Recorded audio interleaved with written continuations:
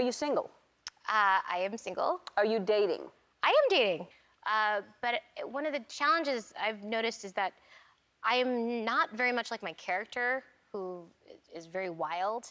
And I think that when I go on dates, there's this expectation that I'm going to have like 11 martinis and like pass out mm. and like spend the night really soon. And I'm, I think uh, people get a little disappointed because my true self is like I could never do that, like have a one night stand because like I have my like my medications I have to take at night. I'm like, I'm like I had to be at my house and like do my flossing and like I don't know. I like have all that stuff. Maybe you didn't want to know that, but no.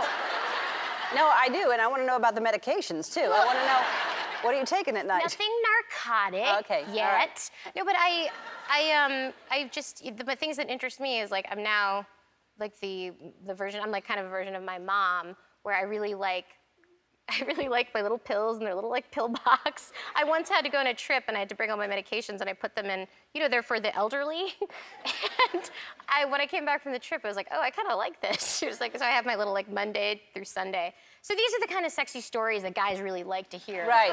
When we date. Because you'd have to take all that with you to the. Yeah. Exactly. Yeah. And do you have like a certain kind of pillow that you have to sleep? Like, do you have to hold a pillow? Is there like a whole sleeping thing, or is body it... pillow? Mm-hmm. And then I have like the pillow that when I'm reading, it's like very firm, so I can do that. But then I throw it out for my medium soft pillow. I see. Like Goldilocks. Yeah. Yeah.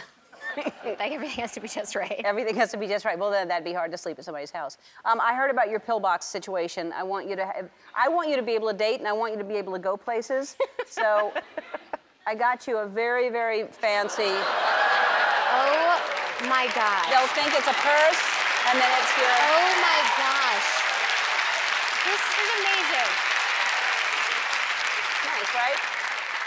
It goes with what you're wearing, or anything, really. Hey. Uh, Is that cool?